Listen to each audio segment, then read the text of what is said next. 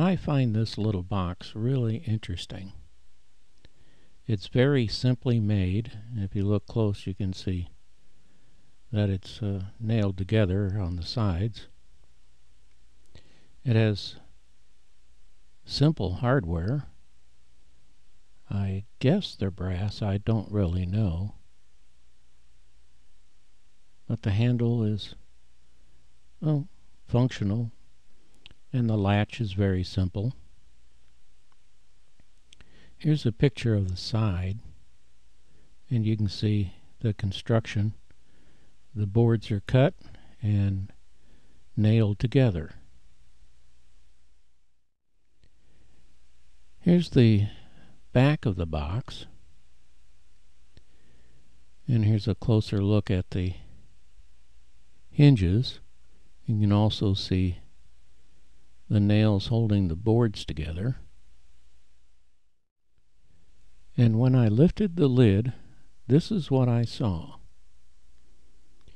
And I'm not 100% sure of what this is, but after looking at it a while, I think that this is a portable spark gap transmitter that somebody made. Right up front on the ridge of the box, those three screws there are actually battery connections that go down into the box.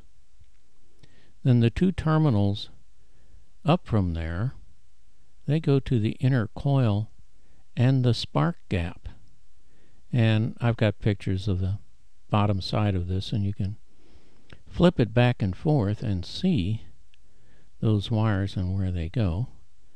And then the two terminals all the way at the top, they go to the outer coil, which is where that highest energy would be, which I think that would be the ground and the antenna.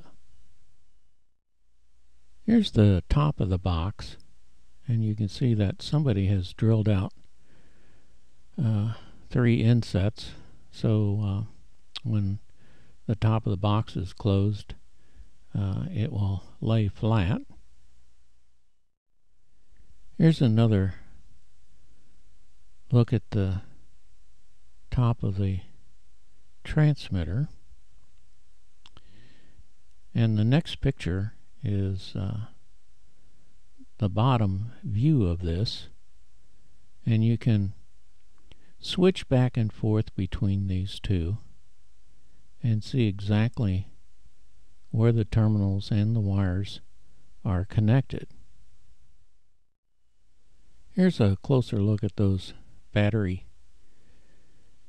connections up front and one of the battery uh, terminals. I think it's interesting that the the battery connections are labeled 0, 1, and 2. Unfortunately, there's just not much labeling uh, on this item. Whoever, of course, built the thing knew uh, what each terminal and what each connection was for.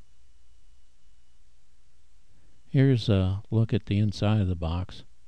And I'm sure you've noticed uh, uh, the roughness of the wood on the inside of this unit.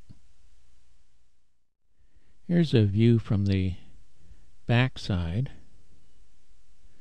and here's a look at it from the end and you can see that it looks to me like whoever built this thing made as much of it as possible because that core I'm sure that they made that also cutting wire iron wire and laying them together to make a core for the coil. And here's the other side.